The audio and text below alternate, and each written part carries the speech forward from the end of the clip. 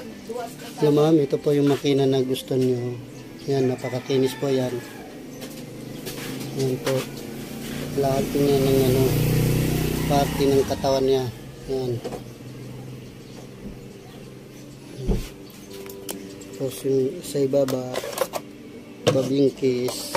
Yan, ordinary po yan. Yan, yung mga stitches niya. Napakaganda po yan. Ngayon, foot pedal na siya po. Yan na yung foot pedal niya. Yan. Pag tinapakan niya, umandar niya. Ngayon, ititesting ko po paglagay ng sinulid, pag, pag tahi. Paglalagay, ito po ma'am, pag naglalagay kayo ng sinulid, dito lang po. Tapos ito, ganito niyo to. Dito po. Ayan. Ayan. Tapos, yan, sabit. Di, dito na siya. Yan. Tapos, dito po, yung sinulid, yung pagitan nito. Yan, tapos, ayan, diretso baba, tapos, taas mo. Yan.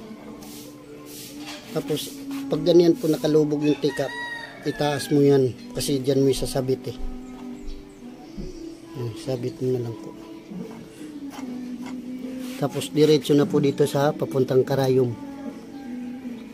Ayan. Yan po, nakalagay na po. Ilay nyo na lang po to. Tapos ngayon, maglagay po tayo ng bobbing case. Yan ito po yun. Ito po bobbing case to. Itong lagay na. Ito po, ay gaganito nyo na lang po siya. Yan. Tapos yung ano, sinulid. Ito. Yan. Tapos ipasok nyo doon. Ngayon, ibukan nyo na lang to. Ayan. Tapos ipasok nyo na lang dito sa pinaka lagayan niya. Yan. Kailangan po pasok siya ng mayo sa tumunog yung pumantay lang to. Ngayon, nakuha na yung ano, sinulid.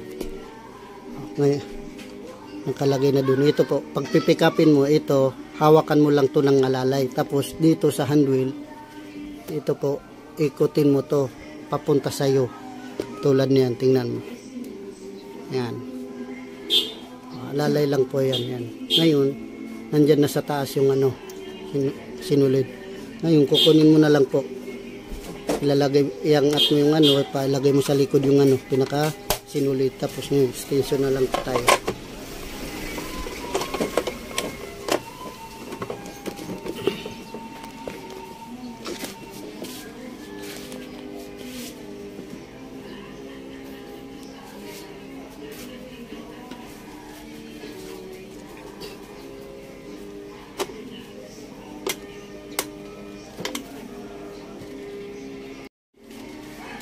Ayan, magkatayo po na tayo. Street.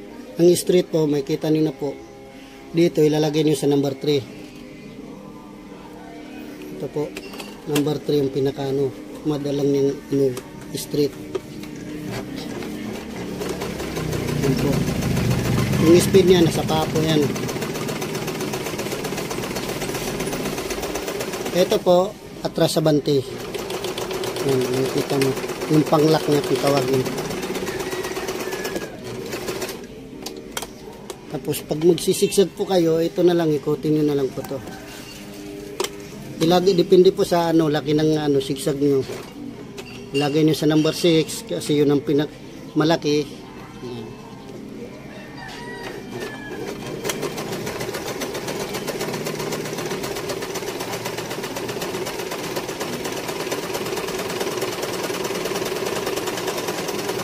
Ang kagandahan po itong makina nito, kahit ma-plug mo sa kahit ma-plug mo siya sa ano, ah, 220 wala pong problema.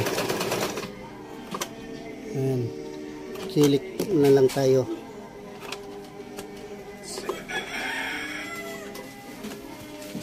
Scallop. Ayan po. Napakaganda yung scallop niya.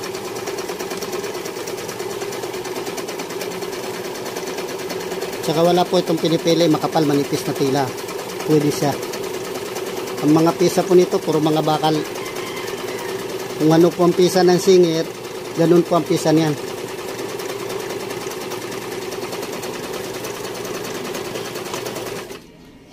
Ayan, magsisilip tayo ulit. 9. Garterize.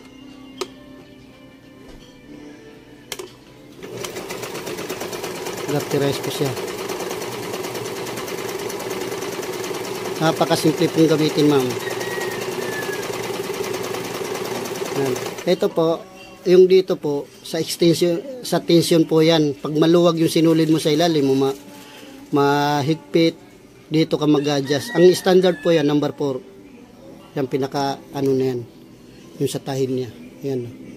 Nakikita nyo naman. Pantay na pantay po siya. Yan. Wala po kayong magiging problema nito, ma'am. Kahit itahin nyo pa ng mga basahan, walang problema. Dahil baka lang pisa. Ito. Ayan, yung tapakan po niya.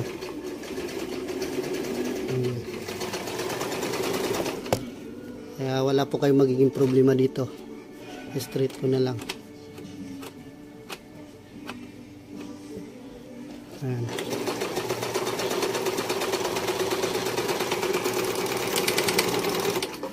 Maraming salamat po.